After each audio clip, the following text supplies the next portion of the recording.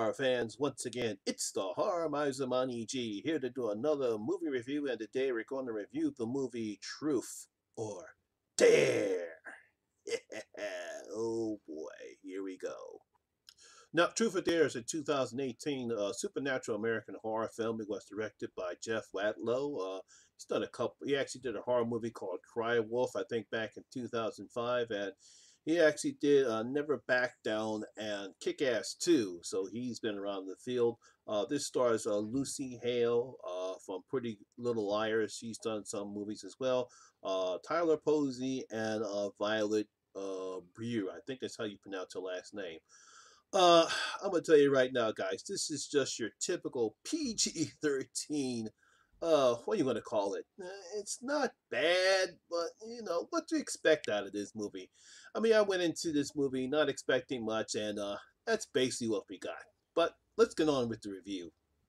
Now, after a cold opening where we see a person that's still playing the game and unfortunately is dared to burn a woman alive, well, we get to see Olivia and her friends as they are about to go on their final spring break together. Now, of course, she's talked into going when she was trying to do humanity Habitat for Humanity, which normally builds houses. She has talked to going with her friends. They go down there to do the typical spring break that you know these kids do, and unfortunately, they meet up with this guy. takes them to this bad part that nobody knows about. And We've seen this all before. Typical cliche PG-13 bull crap. Uh, they eventually get talked into playing Truth there, and then the guy finally reviews says, "We saw it in the trailers before." He said, "Look, it's better that I live and you guys, guys die, so I can survive," and warns Olivia that the game is real. So after they get back, all of a sudden the game is real, and uh, everyone has to play Truth or Dare. And like I said, we've seen it in all the trailers, and that's basically what this movie is about. A dumbass game uh, put in horror movie. I mean, not a dumbass game. A typical, I guess you could say, teenage game or some type of adolescent uh, girl game that little kids and some adolescent girls play, and then now it's in the horror movie, and that's basically what this is. As these uh, college students try to survive, uh, truth or dare. That's basically what this plot is about. Now, as I stated before, there's nothing new here. There's nothing brought in different in this uh, in this uh, Truth or Dare. It's your typical PG-13 bullshit horror picture. You're not going to see any blood. You're not going to see any real gore. Uh, the one good thing I do like to say about this film is that we don't have your typical cliche characters, uh, but they still do the typical cliche stupid stuff you know that she shouldn't go with her friends. You know that they shouldn't be doing that, but they're going to do it anyway because that's what the plot tells them to do. Uh, we really don't care about any of the characters at all because the film doesn't give us any reason for us to, to care about them. We just know that eventually they're going to get picked off one by one. So we really don't care about that neither. Uh, I do give Lucy Hale some credit in this movie. She tries her best to bring some life into this picture. I do like her and, and uh, Tyler Posey and Violet uh, Brown. Uh, they do seem to try to bring it, but unfortunately, the film that was written by, uh, let's say, Michael Rears, I think that's how you pronounce his name, really does a poor job at creating character, creating any type of suspense. And I don't think it's uh, Derek uh, Wadlow's uh, fault. I mean, he does what he can with the with the movie because he's not really giving it much to do. Like I said, this is your typical uh, PG-13 horror picture. I mean, we've seen this uh, not work, like say, like uh, the Bye Bye Man or uh, When a Stranger Calls and The Haunting in Connecticut. Unlike when when it does work, like with uh, Drag Me to Hell, or even the Quiet Ones, or even the Quiet Place. You know, that's when it works. But unfortunately, it's not going to work here. And I feel sad because I you, knew that there was a good idea here to take a innocent game like Truth or Dare and make it to a horror movie. But unfortunately, they really don't do that much with it. There's very little suspense in this film. Uh, we see we see all those little little faces that come up, and uh, it eventually takes almost close to the end of the movie before we actually find out what that what those smiley smiley faces means. Uh, and it, it there's nothing in this movie that uh, that's really good.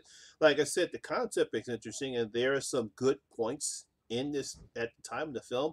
But unfortunately, there's so much bad in it. There's no much. There's not much you can do. And Oh, I don't even want to talk about the ending. Oh God, you want to talk about a terrible ending?